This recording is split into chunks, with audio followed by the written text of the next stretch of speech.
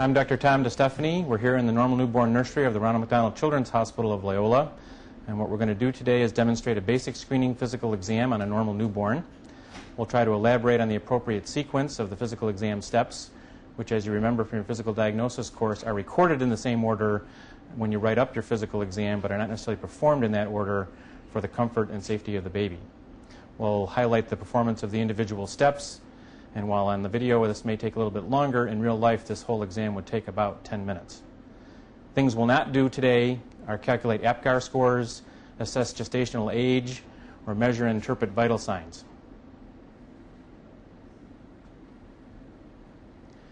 Typically, when we begin the physical exam in the normal newborn nursery, we might be seeing babies in an infant warmer like this, or conceivably in their bassinet, either way, we would tend to want to prepare uh, for our exam as best as we can so we can get through this quickly and efficiently.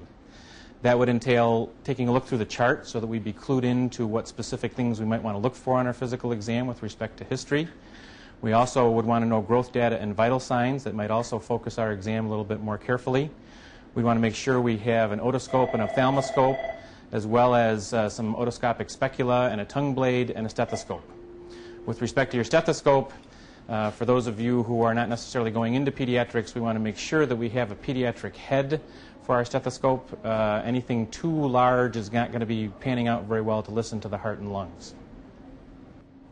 So after reviewing the history, washing our hands, and preparing our equipment, including some extra diapers and washcloths in case we get involved in any cleanup, we are ready to begin. The first thing we'll do is some general observation, looking at the baby's posture.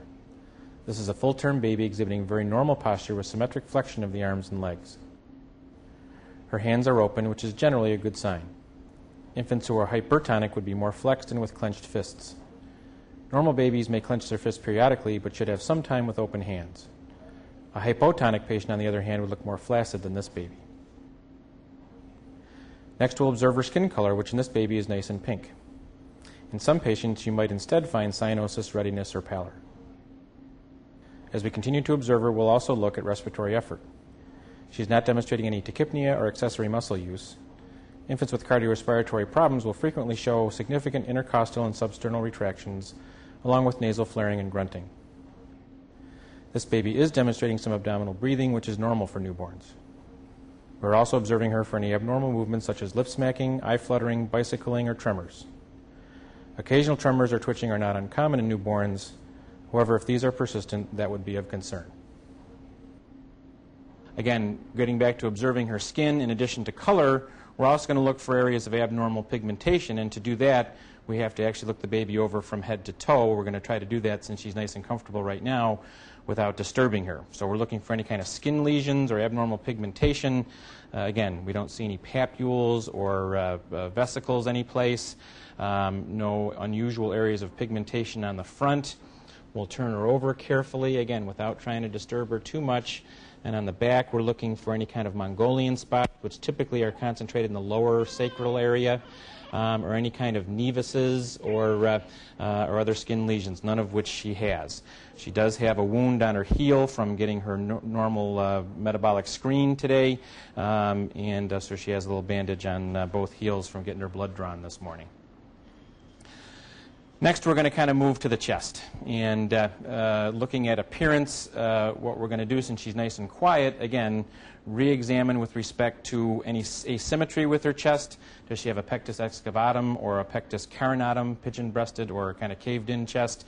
Her chest is nice and normal. Are her nipples normally spaced? There are standards in textbooks that you can do if you have a concern, but hers look generally okay at the present time. Does she have any excessive breast tissue? Even male infants can have some breast tissue from the estrogen stimulation they get in the womb. Um, she has some breast budding here, but nothing in terms of extensive breast tissue. Sometimes you'll even see some uh, milk discharge from the nipples at this age, which would be normal. Uh, you also may see a xiphoid process. Her xiphoid process would be under her temp probe at the present time, uh, but it was not visible before we put the temp probe on. Again, we're sort of assessing respiratory effort. She still has no accessory muscle use. And we're also going to look and see if there's any uh, hyperdynamic precordium. Are there any extra impulses that we can see on the chest uh, before we go any further? Uh, that said, everything looks good, and so we're going to go ahead and listen and auscultate the lungs. We're going to look sort of high and low, left and right, front and back as we try to listen, and I'm going to use my diaphragm for my uh, lung auscultation. We're going to start on the left side, sort of near the heart. So while I am here in heartbeat, I'm focusing on the respiratory sounds here and the breath sounds at the moment. And then we'll go to the right.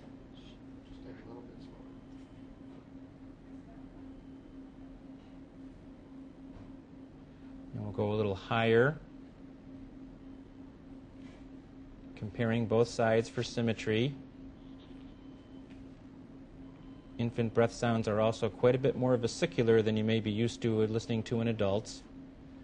And in fact, even in the face of consolidation, you rarely hear bronchial breath sounds in babies. Now, once again, carefully, since she's nice and quiet and comfortable, we're going to try and listen in the back as well. And again, upper left and upper right, trying to catch a few breaths in each area.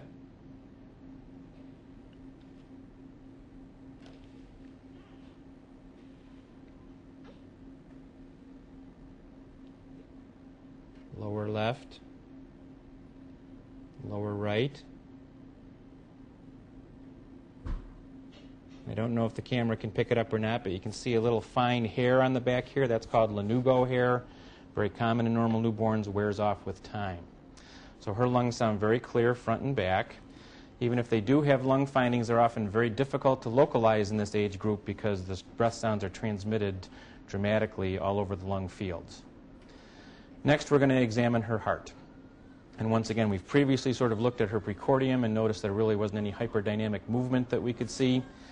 In addition, uh, we're going to palpate to see if there's any abnormal impulses. Again, sudden move kind of made her jump and squirm there a little bit, but uh, uh, we got through it. Again, I'm not feeling any thrills here, and no abnormal hyperdynamic precordium. And her point of maximum impulse is really right here at about our fourth intercostal space and right about our midclavicular line here. So a pretty normal location for our PMI. Well, we are going to get to auscultation. That still is probably the least important part of the heart exam in babies. And so in addition to checking that precordium, we also want to palpate pulses. And our most important pulses in this age group are going to be our femoral pulses. And so we're carefully removing the diaper here. And I've got my finger right over her right femoral pulse. And I'm trying to make sure, number one, that it's present. And secondly, the character of it. We're trying to see if it's thready or normal or bounding. And her pulse feels very normal. And so, in addition to feeling confident that she has nice circulation here and normal peripheral pulses, we're also comfortable at the present time that she's not showing any evidence of a coarctation of the aorta because she has some distal circulation here to the lower extremities that's easily palpable.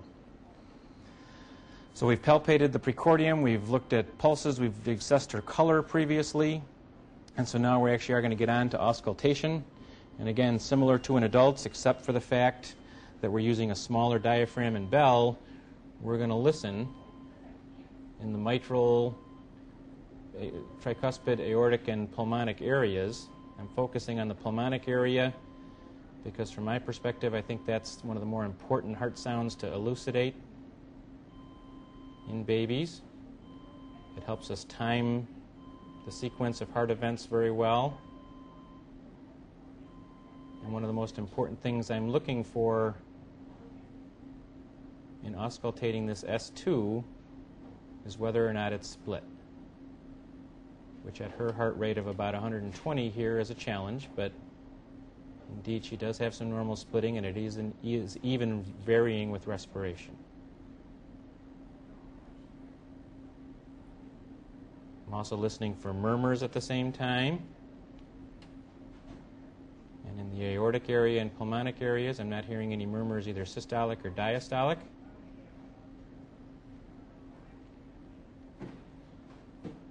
move down to our tricuspid area.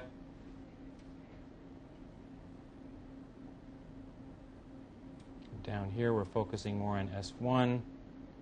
and also listening for murmurs. Mitral area, the apex. Also, no murmurs. S1 sounds normal.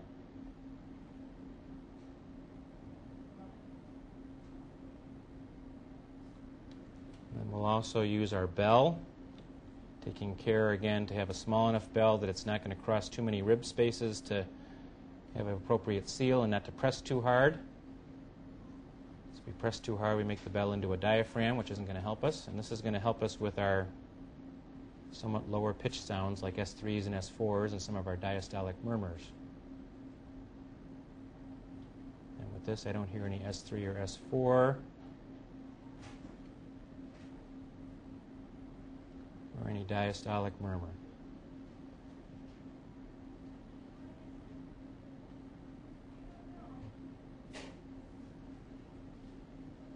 And she sounds great.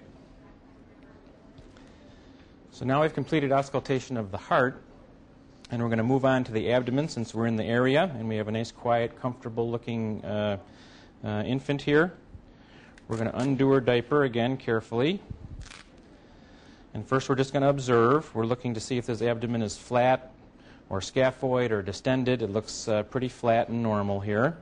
No distension. We have a pretty normal looking umbilicus here, which is old enough now. This is about a 26 hour old infant, by the way. Um, so we would be hard pressed to figure out whether we had uh, a three vessel cord here or not. But in a fresher umbilical cord, we'd be looking for uh, two uh, umbilical arteries and one umbilical vein.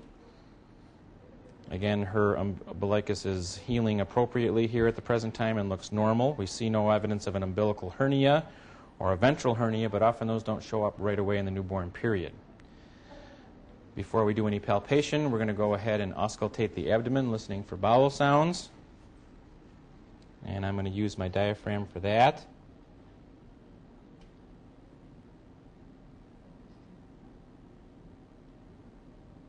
And she has some nice regular, somewhat tympanitic bowel sounds, but they sound very normal. Nor do I hear any bruits in the abdominal area either.